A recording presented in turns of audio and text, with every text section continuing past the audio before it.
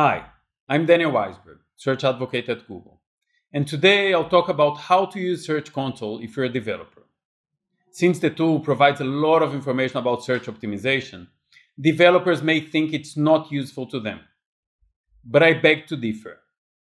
In this video, I'll talk about the most useful Search Console reports to help developers build websites that are healthy, findable, and optimized for Google search.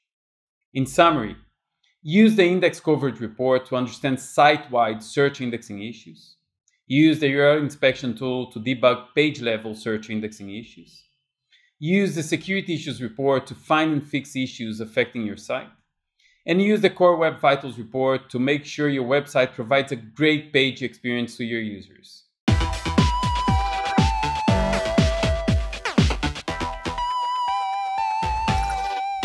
The first thing that is really important for you to know is whether Google can find and crawl your pages. Small glitches can have a massive effect when it comes to Googlebot being able to read websites. For example, Sometimes we see companies accidentally adding no index tags to entire websites, or blocking the content from being crawled through an error on the robots text file. These issues can be easily uncovered using the index coverage report.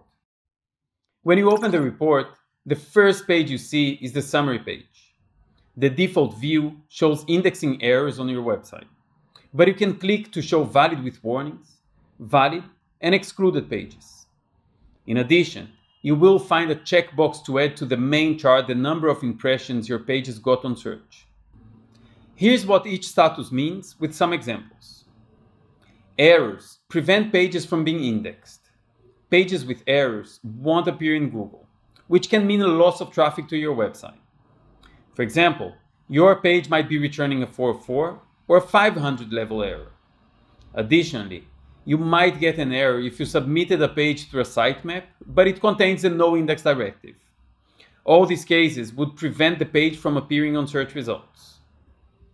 Valid with warnings are pages that may or may not be shown on Google, depending on the issue, but we think there is a problem you should look into. For example, Google might find pages that are indexed, though blocked by robots text. This is marked as a warning because it's not clear if you intended to block the page from search results.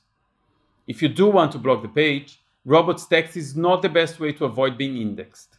To do so, you should either use the no index directive or request authentication to see the page.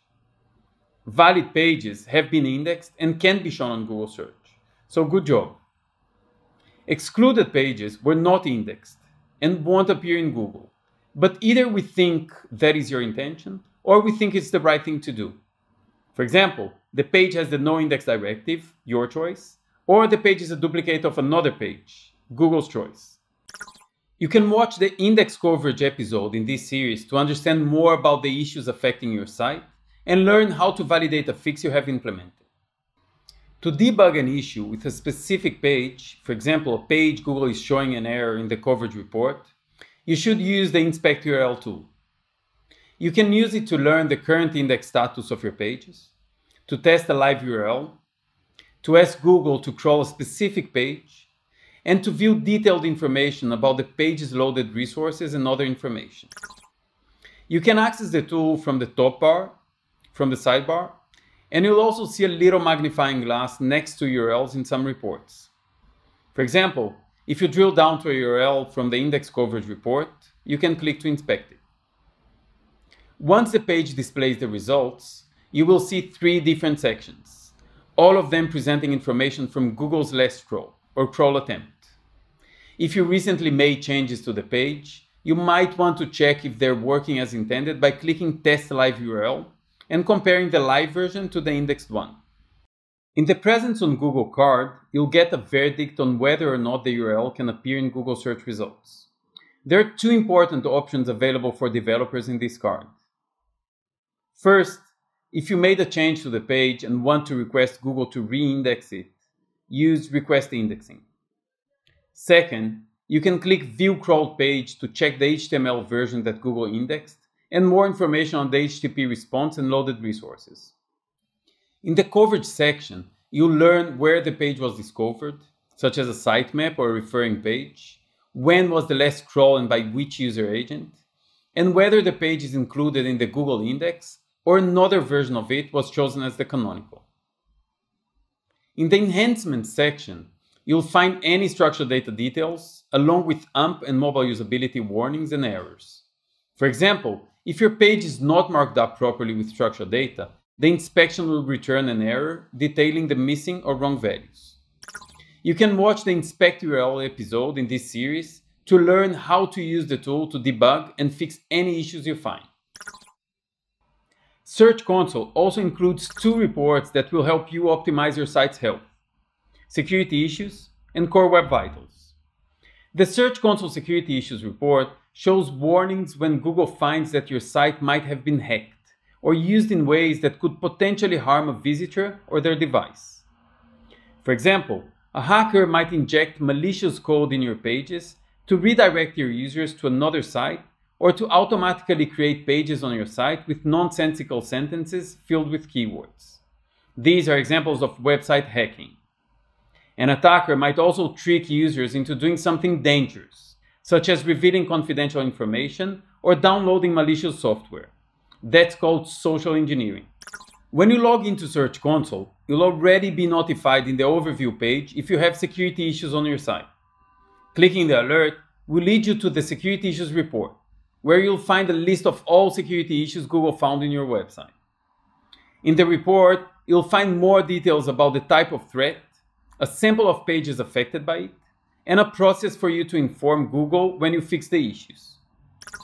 I recorded an episode about the security issues report with Aurora Morales, my colleague from the Trust and Safety team. Check it out for more details. Lastly, the Core Web Vitals report shows how your pages perform based on real world usage data, sometimes called field data. The report is based on three metrics LCP, or largest contentful paint, is the amount of time it takes to render the largest content element visible in the viewport, starting from when the user requests the URL. This is important because it tells the reader that the URL is actually loading.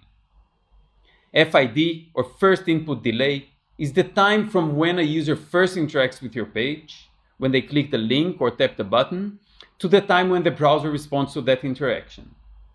This is important on pages where the user needs to do something, because this is when the page has become interactive. CLS, or cumulative layout shift, is the amount that the page layout shifts during the loading phase. The score is rated from 0 to 1, where 0 means no shifting and 1 means the most shifting. This is important because having elements shift while a user is trying to interact with the page is very annoying. I'm sure you will agree. Log into Search Console and navigate to the Core Web Vitals report. You'll see that the report is broken down by mobile and desktop. Open one of them to see an aggregate report with more details. By default, the chart shows trends for pages with poor performance, but you can click on Need Improvement and Good to check their trends too. Be aware that if a page does not have a minimum amount of reporting data for any of these metrics, it is omitted from the report so you probably won't see all your pages. Click an issue in the table to drill down.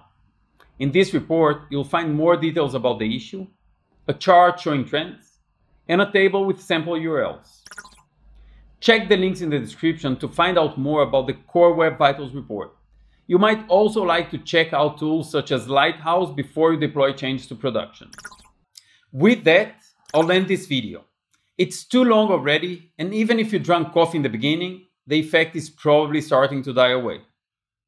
To recap, use the index coverage report to understand site-wide search indexing issues. Use the URL inspection tool to debug page-level search indexing issues. Use the security issues report to find and fix threats affecting your site. And use the Core Web Vitals report to make sure your website provides a great page experience to your users. Don't forget to subscribe to the Google Webmasters YouTube channel to watch our upcoming Search Console videos. Stay tuned.